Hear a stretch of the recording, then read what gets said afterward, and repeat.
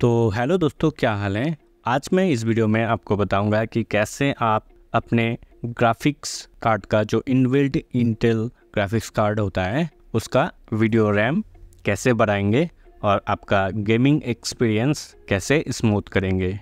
याद रखिए, ये मेथड सिर्फ़ इंटेल में ही काम करेगा।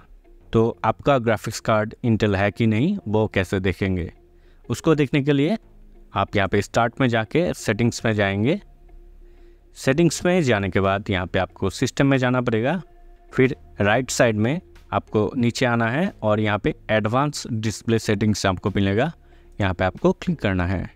क्लिक करने के बाद यहाँ पे आप देख सकते हैं डिस्प्ले इन्फॉर्मेशन के बाद यहाँ पे आपका ग्राफिक्स कार्ड का नाम दिखेगा। मेरा graphics card Nvidia G G T one zero three zero है। ये इनवीडिया का है। आपका इंटेल होना चाहिए और यहाँ पे इंटेल प्लस उसके साथ इंटेल का मॉडल नंबर यहाँ पे लिखा रहेगा। इसके बाद आप यहाँ पे डिस्प्ले एडेप्टर प्रॉपर्टीज़ में क्लिक करेंगे। क्लिक करने से ये विंडो खुल जाएगा। यहाँ पे आप देख सकते हैं डेडिकेटेड वीडियो मेमोरी जो है यहाँ पे दो जी यानी कि two zero four eight M B है। तो हम इस मेथड से ये जो वीडियो मेमोरी है, इसको हम इंक्रीज़ करेंगे, जिससे आपका ग्राफिक्स स्मूथ हो जाएगा। तो चलिए देखते हैं कैसे करते हैं। सबसे पहले आप अपने कीबोर्ड में विंडोज़ की प्लस आर प्रेस करेंगे, जिससे रन खुल जाएगा। फिर यहाँ पे आपको टाइप करना पड़ेगा reg edit R E G E D I T ये लिखने के बाद आपको ओके करना है। विंडोज़ यहाँ पे परमिशन मांगेगा, आप येस करेंगे। फिर यहाँ पे आप लेफ़्ट साइड में देख पा रहे हैं, बहुत सारा ऑप्शन है। यहाँ पे आपको एज की लोकल मशीन में जो साइड में एरो है, इसमें क्लिक करना है। उसके बाद आपको यहाँ पे ढूंढना है सॉफ्टवेयर ये देखिए सॉफ्टवेयर है।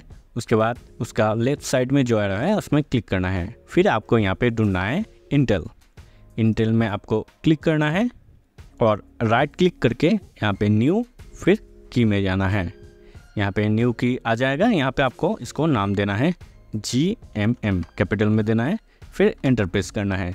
फिर से आपको जी एम एम को सिलेक्ट करना है और राइट क्लिक करके न्यू उसके बाद डी वर्ड 32 बिट वैल्यू यहाँ पे क्लिक करना है। यहाँ पे देखिए न्यू वैल्यू ऐड हो चुका है। यहाँ पे आपको इसको रीनेम करना है। इसमें आप टाइप करेंगे डेडिकेटेड सेगमेंट साइज़ और इसमें कोई भी स्पेस आप नहीं देंगे। लिखने के बाद आप इसमें डबल क्लिक करेंगे तो ये वैल्यू डेटा यहाँ पे आ जाएगा और इसमें आप वैल्यू ऐड करेंगे। उससे पहले आप यहाँ पे बेस देख सकते हैं, यहाँ पे आपको डेसिमल पे क्लिक करना है। क्लिक करके यहाँ पे आपको वैल्यू चेंज करना है। याद रखिए, आपका अगर टू जी रैम है तो आप यहाँ पे टू फिफ्टी सिक्स लिखेंगे। अगर फोर जी रैम है तो यहाँ पे फाइव वन टू लिखेंगे। अगर आठ जी रैम है तो वन ज़ीरो टू फोर लिखेंगे। और अगर सोलह जी रैम है तो टू ज़ीरो फोर एट यहाँ पर टाइप करेंगे। तो मेरा आठ जी रैम है तो मैं टाइप करूँगा वन ज़ीरो टू फोर उसके बाद हम ओके करेंगे और इसको क्लोज़ कर देंगे। इसके बाद आप अपने पीसी को रिस्टार्ट करेंगे तो आप देख पाएँगे कि आपका जो डेडिकेटेड मेमोरी है, यानी कि वी रैम है, वो इंक्रीज़ हो चुका है और आपका जो ग्राफिक्स परफॉर्मेंस है, वो स्मूथ हो चुका है। तो दोस्तों, आशा करता हूँ वीडियो देख के आपको ज़रूर हेल्प हुआ होगा। अगर हुआ है तो इस वीडियो में ज़रूर एक लाइक कीजिए और इस चैनल को सब्सक्राइब कीजिए। तो दोस्तों, मिलते हैं नेक्स्ट वीडियो में।